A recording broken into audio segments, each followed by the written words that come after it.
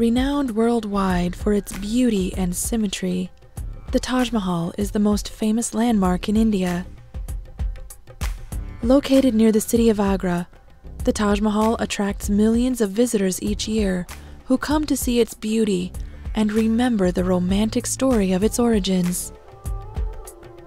The Taj Mahal, its name is Persian for crown of palaces, is an elaborate mausoleum or tomb. It was built more than 350 years ago by Emperor Shah Jahan of India as a memorial for his beloved wife, Mumtaz Mahal, who had died. Shah Jahan met his future wife when he was 15 years old, and she was 14, although they were not married until five years later in 1612. Their marriage was a happy one, as the two loved each other and were good friends as well.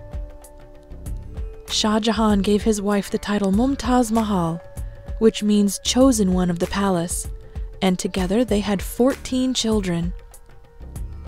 It was while giving birth to her final child in 1631 that Mumtaz Mahal died. Shah Jahan was heartbroken and decided to build a memorial for his beloved wife in Agra on the banks of the Yamuna River. Construction of the Taj Mahal began in 1632. It was an immense project. More than 20,000 workers were involved, and materials were transported by more than a thousand elephants.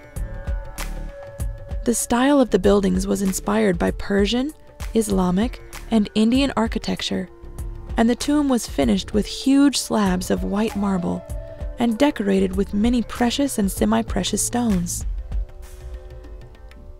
Elaborate patterns of tile and even poems written on the walls in careful calligraphy decorated nearly every surface. The tomb took about 12 years to build, but the work was not over yet. The tomb itself is only part of a much larger complex and is surrounded by elaborate gardens with pathways and pools of water that are positioned to catch beautiful reflections. There are also minarets, a mosque, and a gateway.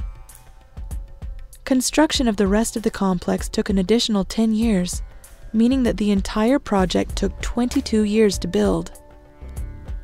The cost is estimated to have been 32 million Indian rupees, an equivalent of about 827 million US dollars today. It is said that Shah Jahan planned to build a second Taj Mahal across the river from the first, made completely of black marble, as his own tomb. But when his son overthrew him and rose to power, the plans were discarded. Whether this is true or not, it is probably true that Shah Jahan did not plan to be buried in the Taj Mahal with his wife, but that is where his son buried him when he died. A slightly larger tomb for Shah Jahan was added next to Mumtaz Mahal's, marking the only place in the tomb that the symmetry is broken. Shah Jahan and his queen are not actually buried in the tombs that are on display. Those are empty. Instead, their bodies are buried beneath the Taj Mahal. Through the centuries, the Taj Mahal has survived.